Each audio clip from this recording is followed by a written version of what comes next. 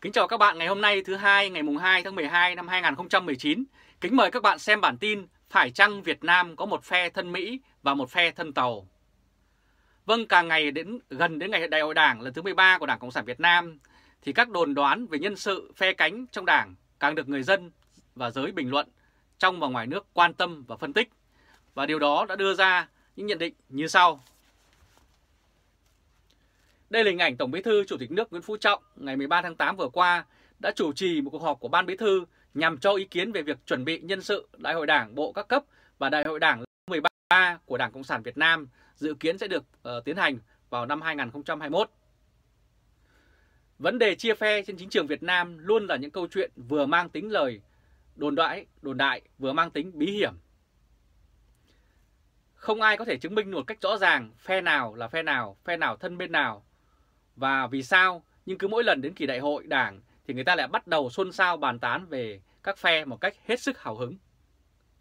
Và trên những trang mạng truyền thông và mạng xã hội thì các bạn cũng đã biết ờ, rất nhiều những nhận định đã được đưa ra, không phải chỉ những người dân Việt Nam mà cả báo chí quốc tế cũng đưa ra những nghiên cứu và phán đoán của mình. Và những thông tin được nhân dân bàn tán về các diễn biến, thiên hướng trong nội bộ của Đảng Cộng sản Việt Nam cũng đã được đưa ra để mọi người tiếp tục chia sẻ.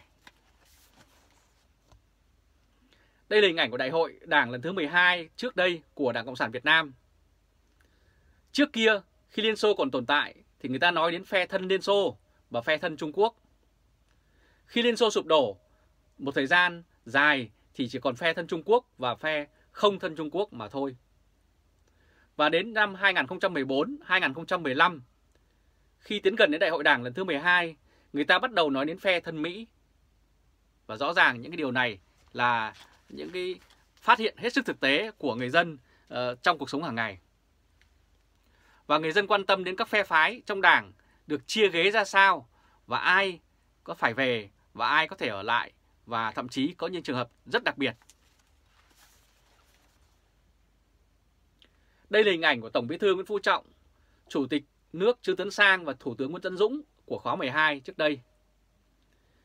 Ngày 4 tháng 8 năm 2015, tờ Dân làm báo đăng một bài viết về các phe phái trong đảng, trong đó có đoạn tình hình nội bộ Đảng Cộng sản Việt Nam không đi vào chi tiết, ai cũng biết nội bộ Đảng Cộng sản Việt Nam chia làm hai phe, phe thân Mỹ và phe thân Tàu. Cách đây hơn một năm thì có thêm phe thứ ba là phe thân Nga. Phe thân Nga là Trương Tấn Sang, phe thân Tàu là Nguyễn Phú Trọng, là Phùng Quang Thanh, phe thân Mỹ là Nguyễn Tân Dũng. Đây là lời trong bài báo đó. Và quả thật với những thông tin như vậy thì người dân lại tiếp tục bàn tán ngày càng sôi nổi hơn. Và trên 90 triệu người dân Việt Nam thì thực tế đã bị Đảng Cộng sản Việt Nam gạt ra ngoài lề khi họ không được bỏ phiếu bầu ra người đại diện của mình, mà tất cả chỉ là chuyện nội bộ của 4 triệu đảng viên Đảng Cộng sản được đặc quyền chia nhau các chức vụ từ nhỏ đến lớn, nên thông tin vẫn thường bị Đảng Cộng sản bưng bít và người dân không thể biết được nội tình và thực tế đã diễn ra như thế nào trong nội bộ Đảng, mà chỉ khi những vụ án và những vấn đề lớn bùng phát ra bên ngoài thì mới có thể biết được. Và đây là hình ảnh của Đại tướng Phùng Quang Thanh khi đó là Bộ trưởng Bộ Quốc phòng đã bị đồn thổi là bị ám sát hụt tại Pháp.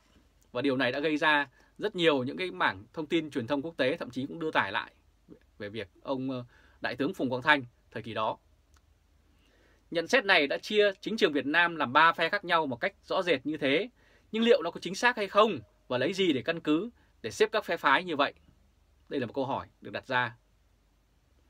Thật ra, vào lúc đó việc phân phe ấy dường như chỉ dựa vào các yếu tố bên ngoài cùng những phát biểu công khai của các ông như Nguyễn Phú Trọng, Nguyễn Tấn Dũng, chứ không ai biết bên trong thực sự như thế nào. Và tất nhiên với những, những cái thông tin như vậy thì người dân lại càng thêm tò mò và những cái sự đồn thổi của họ ngày càng lớn. Và ai là người đứng đầu phe thân Trung Quốc thì cũng được người dân đưa ra để bàn tán. Đây là hình ảnh ông Tổng Bí thư Đảng Cộng sản Việt Nam Nguyễn Phú Trọng. Với ông Nguyễn Phú Trọng, ông này thường hay phát biểu về Mark Lenin, về xây dựng đảng, về con đường đi lên chủ nghĩa xã hội và luôn tỏ ra nhũn nhặn với phía Trung Quốc. Mặt khác, ông ta lại là tiến sĩ ngành xây dựng đảng. Vì thế, việc xếp ông Trọng vào phe thân Trung Quốc xem chừng hợp lý và khó bị bắt bẻ. Và dường như người dân vẫn có cảm tình với phe mà người ta cho rằng thuộc về thân Mỹ. Đây là hình ảnh của Thủ tướng Nguyễn Tân Dũng khi đó. Ngược lại, ông Nguyễn Tân Dũng lại rất hiếm khi phát biểu về Mark Lenin về xây dựng đảng, về con đường đi lên chủ nghĩa xã hội như ông Trọng đã dành cho con và đồng thời uh, đã dành cho con ông ta một đầy những cái yếu tố như yếu tố thân Mỹ ở ông Nguyễn Tân Dũng. Yếu tố nhất, ông Dũng là người miền Nam. Một cách đơn giản và dễ hiểu, người ta cho rằng người miền Nam sẽ dễ thân Mỹ hơn vì Mỹ từng là đồng minh của Việt Nam Cộng Hòa. Đây quả là một cách lý giải khá hài hước, tuy vậy cũng không thấy ai bắt bẻ mà người ta chấp nhận một cách dễ dàng như vậy. Và hình ảnh để gần lại các bạn thấy rất rõ là của ông uh, Thủ tướng Nguyễn Văn Dũng khi đó. Và có những thông tin kiểm chứng được thì mạng xã hội của hàng triệu người dân lại tiếp tục chia sẻ và bàn tán trở nên rất sôi nổi. Đây là hình ảnh của Việt Kiều Nguyễn Bảo Hoàng đã kết hôn với Nguyễn Thanh Phượng, con gái Thủ tướng Nguyễn Tân Dũng. Yếu tố thứ hai là việc con cái ông Dũng chẳng những du học ở Mỹ mà còn kết hôn với con cái của sĩ quan Việt Nam Cộng Hòa. Đây quả là một yếu tố vô cùng nặng ký để xếp ông Dũng vào phe thân Mỹ. Thật vậy, khó mà bác bỏ chuyện ông Dũng thân Mỹ khi mà ông ta làm xui ra với sĩ quan Việt Nam Cộng Hòa. Con rể ông Dũng, ông Nguyễn Bảo Hoàng cũng chẳng những là con trai của sĩ quan Việt Nam Cộng Hòa mà còn là một công dân Mỹ. Và thậm chí thông tin còn được thêu dệt thêm các tình tiết rất ly kỳ là càng khiến nó hấp dẫn hơn với người dân ở trong nước và nước ngoài. Đây là trụ sở của cơ quan tình báo Trung ương Mỹ CIA. Ở đây người ta nói về yếu tố ngoại giao kết hôn. Ý là có thể tình báo Mỹ đã cố gắng sắp xếp, dàn xếp cuộc hôn nhân giữa Nguyễn Bảo Hoàng và Nguyễn Thanh Phượng để hướng tới việc có một thủ tướng Việt Nam thân Mỹ. Tất cả những yếu tố đó làm cho ông Dũng có một lý lịch thân Mỹ không chê vào đâu được. Thì đây là cái hình ảnh của Trung ương tình báo Mỹ. Và tất nhiên những điều đồn thổi này đã làm cho uh, khá nhiều người gặp rắc rối. Và cũng có khi nhận định của người dân có vẻ hợp lý với người đứng đầu Đảng Cộng sản Việt Nam. Đây là hình ảnh Tổng Bí thư Nguyễn Phú Trọng vui mừng được ký sách cho Lục Tiểu Linh Đồng, người đóng vai Tôn Ngộ Không. Trong khi đó, ông Nguyễn Phú Trọng thì vừa là người miền Bắc, con cái cũng không có ai du học ở Mỹ như con ông Dũng. Bản thân lại làm tiến sĩ xây dựng đảng, từng làm tổng biên tập tạp chí Đảng Cộng sản. Theo lý lịch này thì ông Trọng chỉ có thể là thân Trung Quốc mà thôi. Và những so sánh đánh giá các lãnh đạo đất nước cũng được đưa ra. Đây là hình ảnh Thủ tướng Nguyễn Tân Dũng phát biểu tại Philippines. Nhưng chưa hết, còn có nhiều sự khác biệt khác giữa hai con người này theo hai hướng thân Mỹ và thân Trung. Đó là những phát biểu chống Trung của ông Dũng và phát biểu thân Trung của ông Trọng. Ngày 23 tháng 5 năm 2014, sau khi xảy ra căng thẳng giàn khoan 981 ờ, của Trung Quốc kéo vào vùng đặc quyền kinh tế của Việt Nam, phát biểu tại Diễn đàn Kinh tế Đông Á, ông Dũng cũng có một câu để đời như sau. Ông nói, Tôi muốn nhấn mạnh rằng Việt Nam cương quyết bảo vệ chủ quyền và lợi ích chính đáng của mình bởi vì chủ quyền lãnh thổ, chủ quyền biển đảo là thiêng liêng. Chúng tôi luôn mong muốn có hòa bình, hữu nghị, nhưng phải trên cơ sở đảm bảo độc lập, tự chủ, chủ quyền, toàn vẹn lãnh thổ, vùng biển và nhất định không chấp nhận đánh đổi điều thiêng liêng này để nhận lấy một thứ hòa bình, hữu nghị viển vông, lệ thuộc nào đó. Và với câu nói đó của ông thì rõ ràng là thể hiện một quan điểm rất rõ ràng về đối với Trung Quốc. Và kết quả là nhận định cuối cùng ờ, vẫn là một câu hỏi đối với người dân.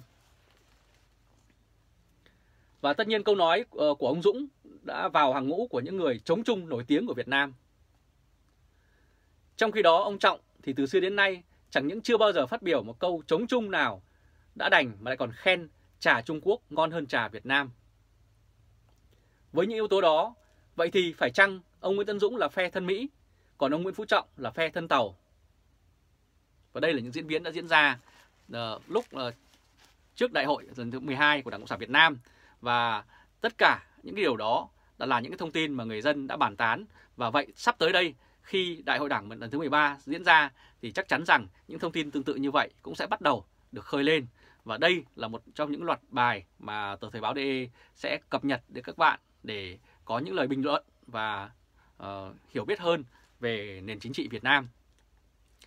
Và một chế độ mà mọi hành động, việc làm đều muốn giấu giếm công dân của mình thì không thể thực hiện được khẩu hiệu mà Đảng Cộng sản Việt Nam vẫn thường hô hào hàng chục năm nay như dân biết, dân bàn, dân làm, dân kiểm tra.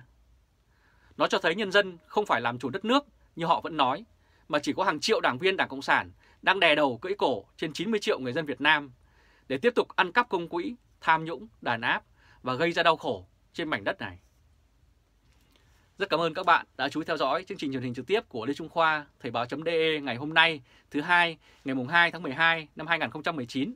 Các bạn hãy chia sẻ video này cũng như để lại bình luận và hãy bấm nút theo dõi YouTube và Facebook Thời báo.de để luôn nhận được những thông tin mới nhất, nhanh nhất và trung thực nhất. Chào các bạn và hẹn gặp lại các bạn vào bản tin lần tới. Trung Khoa từ Berlin, Cộng hòa Liên bang Đức.